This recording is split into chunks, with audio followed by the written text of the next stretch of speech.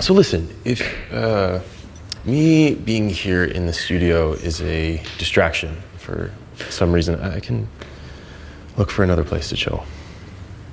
Why do you say that? It just seems like you've been avoiding working in here, and you were sneaking in to get supplies. This is your space, first and foremost. I don't want to chase you away from that. I I was avoiding the studio, but it's it's not you. I mean, it it is kind of. I don't I don't know. Maybe I misread this, but I've been feeling a vibe between us. Um, you you did not misread the vibe. See, the thing is, is that I'm not. I'm not interested in dating someone who has a boyfriend.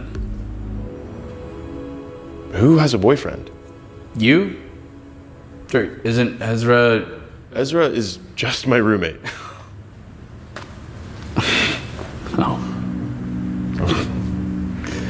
Oh. so, are you interested in dating someone who's single? Well, I mean, only if they're really messed up and emotionally unavailable. Oh. I guess I'm not your type then. I'm willing to make an exception.